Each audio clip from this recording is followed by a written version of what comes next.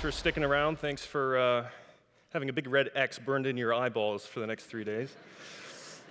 Uh, today, I want to talk about the, uh, the meaning of words, um, how we define them, and how they, almost as revenge, define us. Um, the English language is a magnificent sponge. Uh, I, I, love the English language. I'm glad that I speak it. I think you all are, are lucky to speak it as well. Um, but for all that, it has a lot of holes.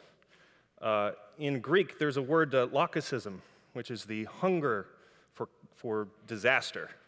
You know, when you see a, a thunderstorm on the horizon and you just find yourself rooting for the storm. Uh, in Mandarin, they have a word yu yi, I'm not pronouncing it correctly, uh, which means the longing to feel intensely again, the way you did when you were a kid.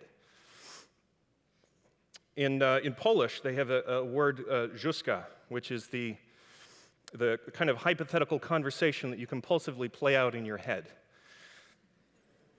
And, uh, and finally, in German, of course, in German, uh, they have a, a word called uh, Zielschmerz, which is the dread of getting what you want. of finally fulfilling a lifelong dream. I'm German myself, so I know exactly what that feels like. Now, I, am not sure if I would use any of these words as I go about my day, but I'm really glad they exist. But the only reason they exist is because I made them up. Um, I am the author of The Dictionary of Obscure Sorrows, uh, which I've been writing for the last seven years. Yeah. Um, and it, the whole mission of the project is to sort of find holes in, in the language of emotion and try to fill them so that we have a way of talking about all those human peccadillos and quirks of the human condition that, um, that we all feel but may not think to talk about because we don't have the words to do it. Um, it started actually, I was watching the end credits of Saturday Night Live, and I was beset by the most beautiful and haunting melancholy. Uh, if, you, if you ever get a chance to stay up that late, I would urge you to, to watch the end credits of SNL. Um, and so I, I, decided to try to, to define that emotion. And about halfway through this project, um, I uh, defined Sonder with the idea that we all think of ourselves as the main character and everyone else is just extras. But in reality, we're all the main character. And you yourself are an extra in someone else's story. Um, and so as soon as I, I published that, um, I got a lot of response from people saying, Thank you for giving voice to something that I had felt all my life, but I, I, there was no word for that. So it made them feel less alone. I think that's the power of words, uh, to make us feel less alone. And it was not, not long after that that I started to notice Sonder being used earnestly in conversations online. Uh, and not long after that, that I actually noticed it, I, I caught it next to me in an actual conversation in person. There is no stranger feeling than making up a word and then seeing it take on a mind of its own. I don't have a word for that yet, but I will. I'm working on it. Um, I, I started to think about what makes words real. Because a lot of people ask me, the most common thing I got from people is, well, are, are, these words made up? I don't, I don't really understand. And I didn't really know what to tell them because once Sonder's started to take off, who am I to say what words are real and what aren't? And so I sort of felt like Steve Jobs, who described his, his, his epiphany as when he realized that most of us, as we go through the day, we just try to avoid bouncing against the walls too much and just sort of get on with things.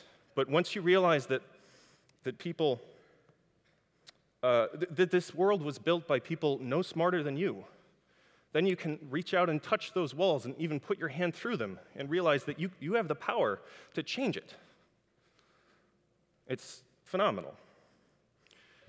So I think from there, that changed how I look at words and what makes words real. And when people ask me, are these words real? I had a variety of answers that I tried out. Some of them made sense, some of them didn't, but one of them I tried out was, well, a word is real if you want it to be real. You know, it, it, the way that this path is real because people wanted it to be there. That happens on college campuses all the time. It's called a desire path. And so it's, you know, language is a reflection of desire. It's something that they want to be there. And it may be the road less traveled, but, you know, it'll, it'll get there eventually. Um, but that's not really a satisfying answer, so I gave up on that one. Um, but then I decided what people are really asking when they're asking if a word is real, they're really asking, well, how many, how many brains you, will this give me access to? Because I think that's a lot of how we look at language. A, a word is, is essentially a key that gets us into certain people's heads. And uh, if, if it gets us into one brain, that's not really worth it. Not really worth knowing. Two brains, eh, it depends on who it is. A million brains, okay, now we're talking. And so a real word is one that gets you access to uh, as many brains as you can. That what, that's what makes it worth knowing. Uh, incidentally, the realest word of all by this measure is this. That's it. The realest word we have, that is the closest thing we have to a master key. That's the most commonly understood word in the world, no matter where you are in the world. The problem with that is no one seems to know what those two letters stand for. Which is kind of weird, right? I mean, it could, it could be a misspelling of all correct, I guess, or old Kinderhook. No one really seems to know. But the fact, the fact that it doesn't matter says something about how we add meaning to words. The meaning is not in the words themselves. We're the ones that pour ourselves into it.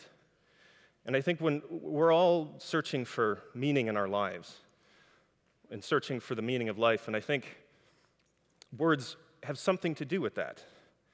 And I think if you're looking for the meaning of something, the dictionary is a decent place to start. I, I, I saw uh, an interview with the uh, religious scholar Reza Aslan. He, he was describing um, a misunderstanding that many people have about religion. He said that what a religion is, uh, is basically a set of symbols and metaphors that people pour themselves into to try to express something inexpressible. Religion is essentially just a language. That's all it is. It's a container for whatever meanings we bring to it. And that got me thinking what if language was a kind of religion? That would mean that this is, this is basically our holy book. And if you think of a creation story, it's really more of a, a definition story. Like, in the beginning, there was chaos upon the waters of the earth, and then God separated the land from the sea, the fish from the birds, man from woman, the eternal from the ephemeral. That's all in these pages. That's what a definition is. And so, if, if we're looking for, for meaning in the world, this is our faith, this is our holy book. Because the reality is, and the, the point of this holy book, and the point of, I think, all holy books, is that it brings a sense of order to a very chaotic universe. Our view of things is so limited that we have to come up with, and, and the, the universe is so complicated that we have to come up with patterns and shorthands and, and try to figure out a way to interpret it and, and be able to get on with our day. And that's why we need words to do that, to give meaning to our lives. But even more than that, we need words to contain us, to define ourselves. And that's, I, I think, a lot of how we use words right now is we, we, we're all just sort of begging to be defined in certain ways. And I think especially now with technology and globalization, it's so easy to get lost in the fog. Each of us is undefined in a way, and the world is becoming ever more undefined. And so I think a lot of the structures that we look to to try to contain ourselves look something like this, both in the sense of pound and hashtag. It's trying to, to box ourselves in in certain ways and say, to, to look for, for certain entries in certain categories and say, yes, that's me. What we do is, is look at other people and say, you're like me, and so we are, we are an us. And that gives us meaning. That's just a way of borrowing meaning. The problem is, is that a lot of that depends on institutions and there are so many of us now, and life is now so complicated and chaotic that it's, we have to wall ourselves off. We're becoming fundamentalists in our faith. literalists.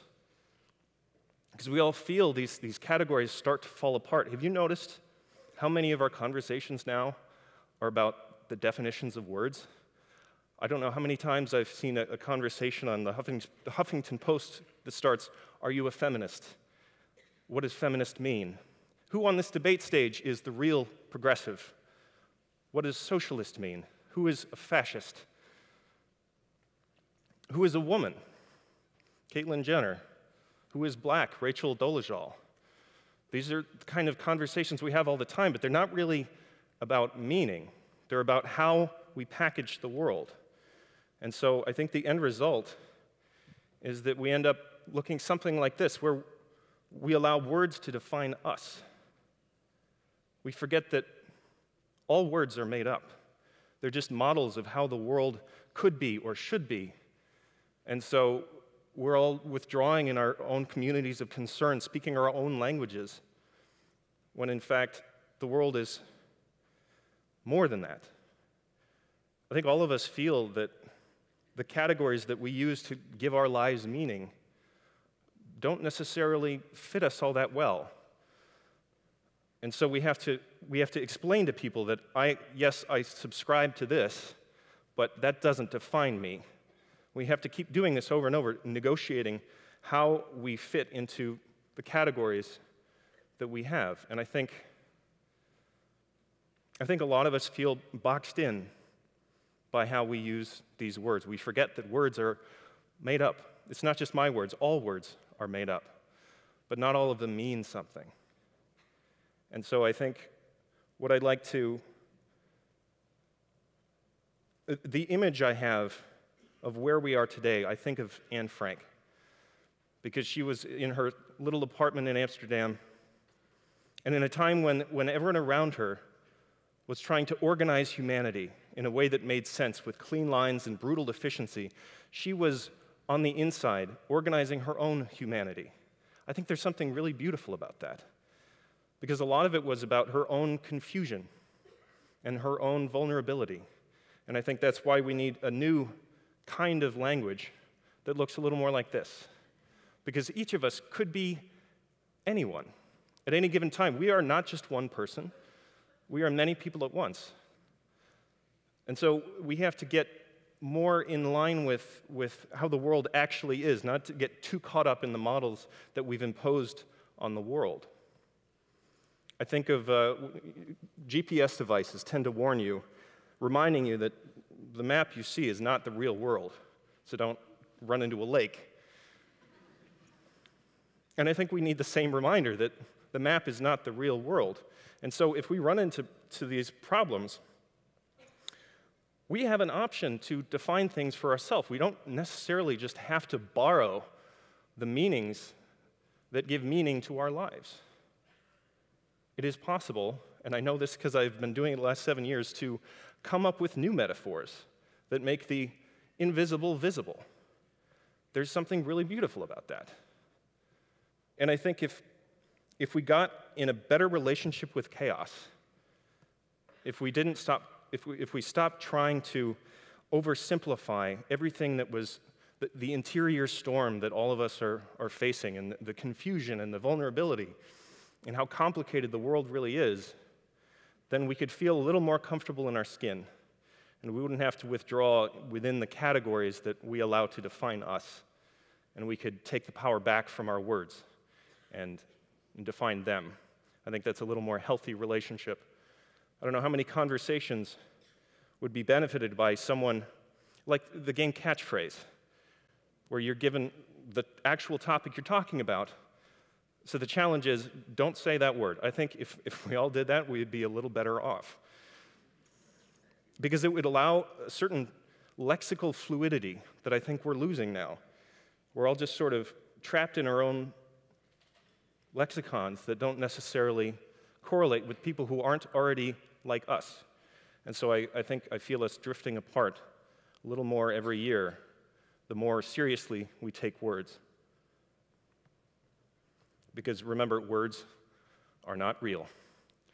They don't have meaning, we do. I think it's important to remember that. And if we took some sense of creativity and authorship in inventing who we are, that is possible. It is possible to try to, to reach for, for richer metaphors. This world has never been as complicated, and our lives have never been more complicated than they are right now. And so, you know, instead of just reaching for the nearest standardized word, or just begging to be diagnosed of something, it is, it is worth actually being present in sadness, for example, in the chaos of, of emotion. I think that's worth doing.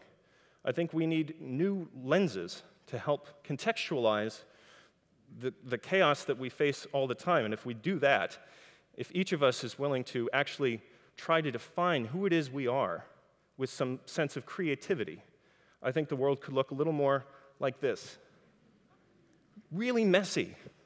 I think we are really messy people, and the world is a really messy world.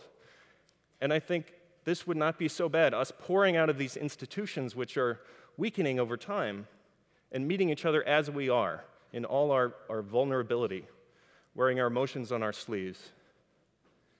And I think, as messy as it is, it would be a little more fulfilling to do that.